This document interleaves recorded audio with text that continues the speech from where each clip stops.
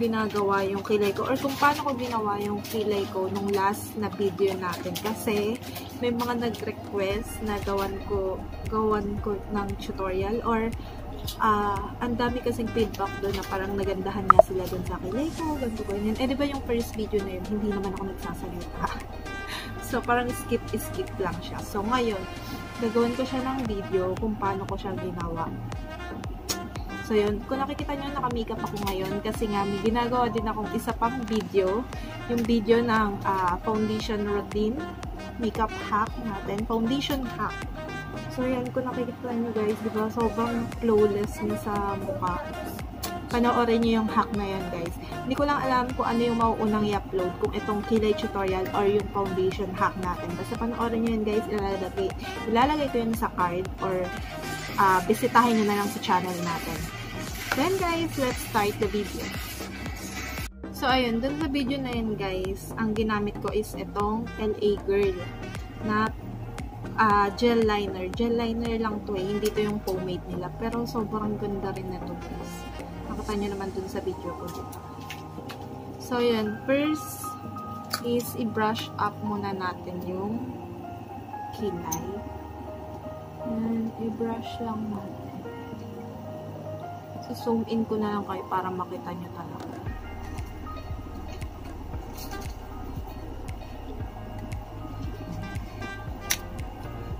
And then, kuha tayo ng konti.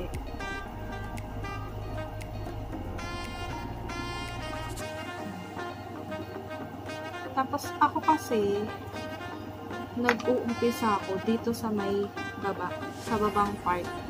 Ia-outline ko yan. So, yan. Outline natin.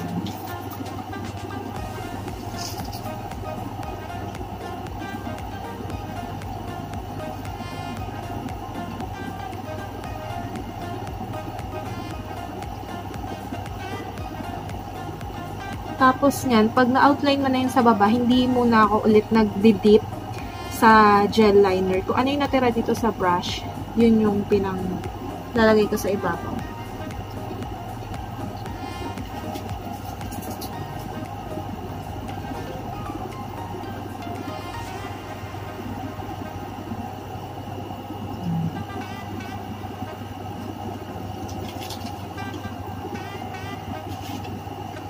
Tapos, kalat nyo lang.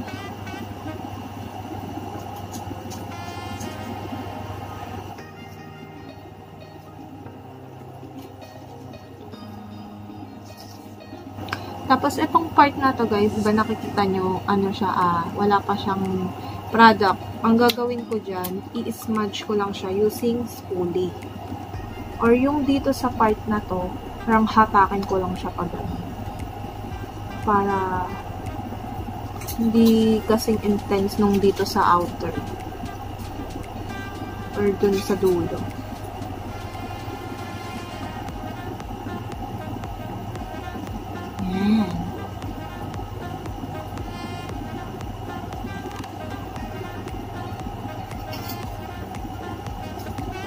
Tapos, ang gagawin ko, ita-darker ko pa to. Ita-darken?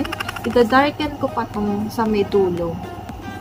Para mas makuha natin yung illusion.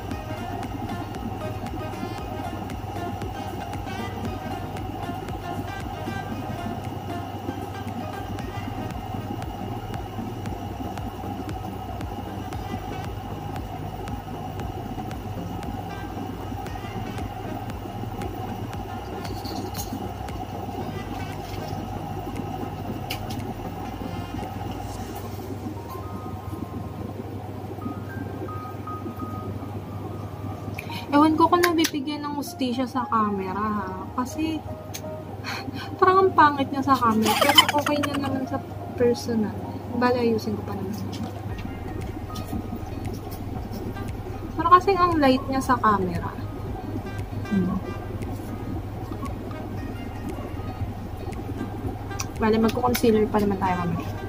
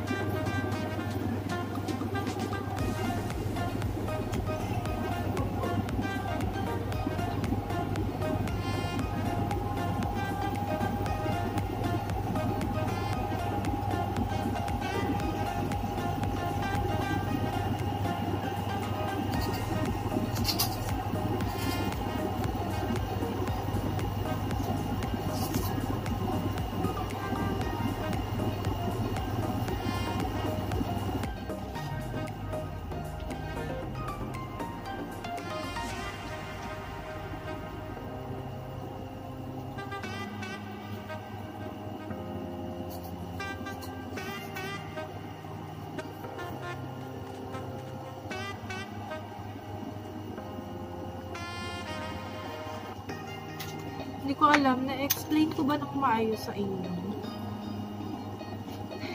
Hindi kasi talaga ako sanay nung magsasalita. I mean, yung pag nagme-makeup, hindi ko kasi lalo kung tumatagal pagka nagsasalita ako. Pagka ina-explain ko pa.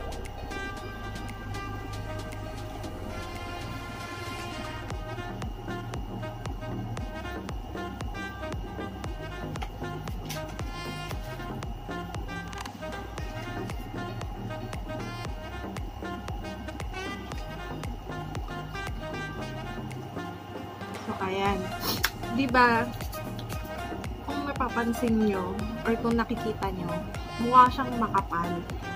As in, di ba mukha siyang makapal. Ngayon, ang gagawin natin dyan, i-conceal natin siya. Para yung mga kalat-kalat dyan, tsaka dito, malinis natin siya. Sana nabibigyan ko kayo ng hustisya, ha? Ay, tinawalan ko ng anak ko. Sana nabibigyan ko kayo ng hustisya kasi talaga ako sanay ng ganito eh. So, ayan. Pagka nakakuha na tayo ng concealer, gumamit lang ako ng maliit na brush. Pag nakakuha na tayo, i di ba outline? Kanina nag-outline ka nung nagkikilay ka. Ngayon naman, dun sa, uh, sa yung tingin mong lagpas sa kilay mo, yun yung lalagyan mo ng concealer.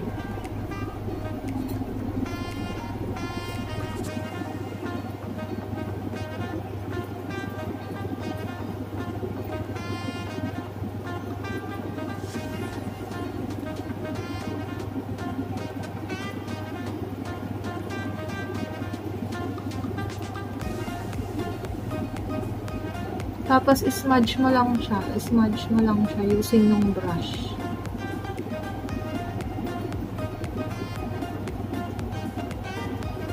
Pagka na-smudge mo naman na siya, pwedeng daliriin mo na din.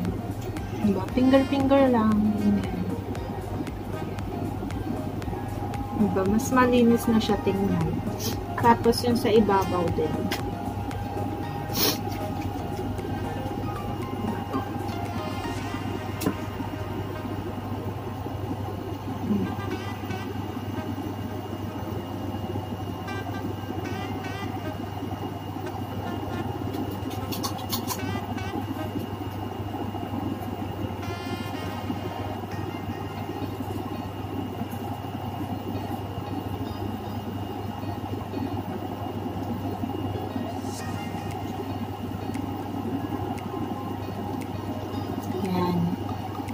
Tapos, pag na-smudge mo na yung ibabaw, pwede mo nang fingerin.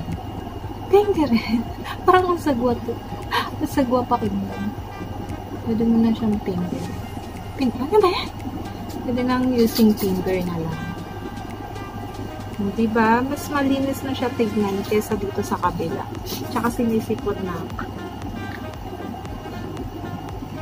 Tapos, brush mo ulit siya.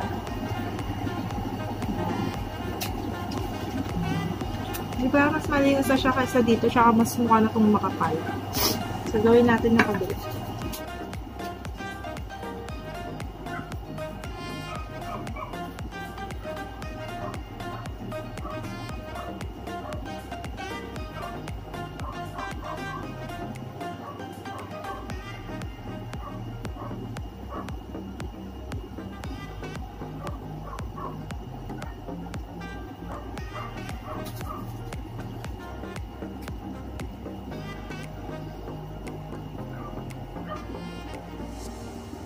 Kasi hawak mo ito?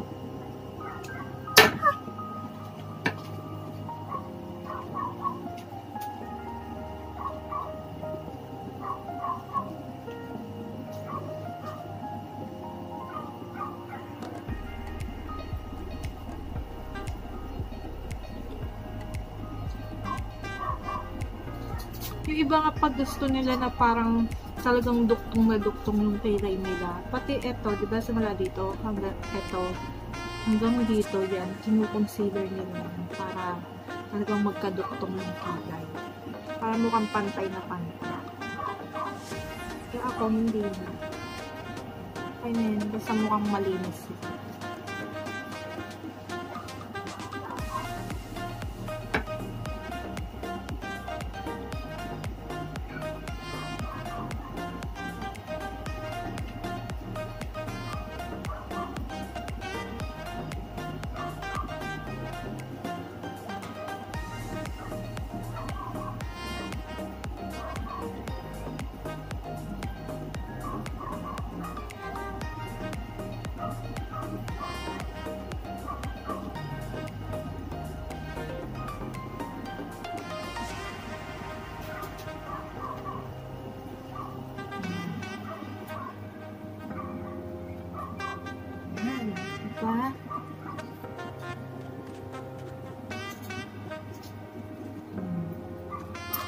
Tapos, para mas maganda siya, nilalagyan ko siya ng ito.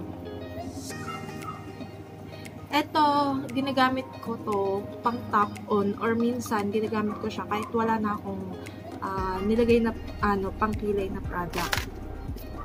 Pero dahil gusto ko lang naman umangat, bumushi, ito na lang yung gagamitin ko.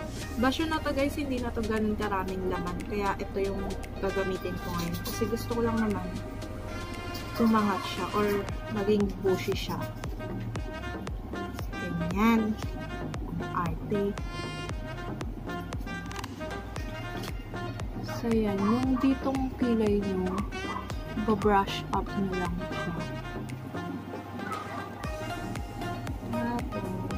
Yung dito, paangat pa rin, pero hindi naman ganun kaangat.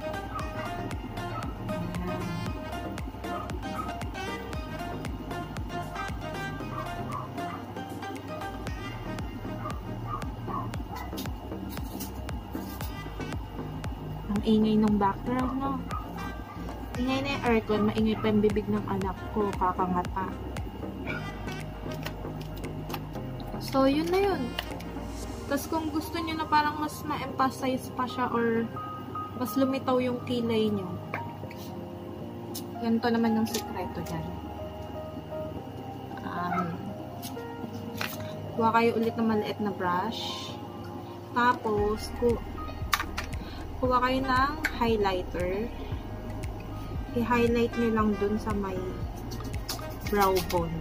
Brow bone. Ito, yung buto natin dito sa kilay. Yan, lagyan mo ng highlighter.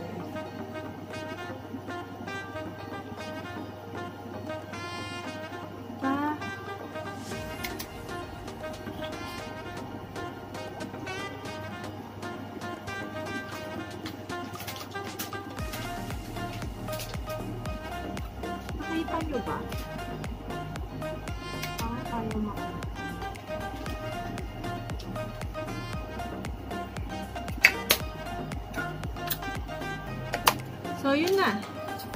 Tapos na yun. Yun lang yung ano natin, ah, kilay routine natin. Basta sobrang dali lang. Ewan ko para sa akin madali lang. Siguro kasi palagi ko na siyang ginagawa. Or hindi naman sobrang palagi. Siguro nakasanayan ko na lang na kasi nga sobrang hilig kong mag-ayos-ayos. Kahit nasa bahay lang ako. So, tatapusin ko lang ulit itong aking pagmumuka at babalik ako sa inyo mamaya. So, final look, guys. Ng pilay natin. At deserve neto ng montage.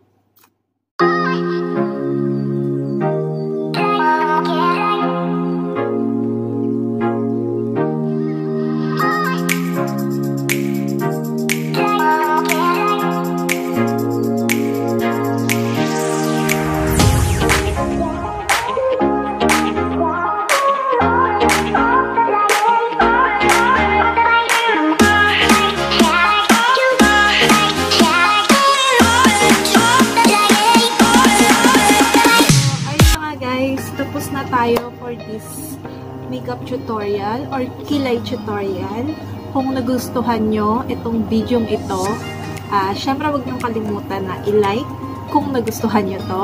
At kung nagustuhan nyo, mag-comment kayo dyan sa baba ah, ng suggestion nyo or request nyo kung ano pang video yung gusto nyong makita na gawin ko. And then, syempre, wag na wag nyo kakalimutan mag-subscribe sa ating channel. Ah, i-click nyo na rin yung notification bell para pag may bago tayong video or upload, dance video, makeup tutorial, or kahit anong kalokohan na video yan, ma-update kayo. So, yun lang guys. Maraming salamat sa panonood. Bye!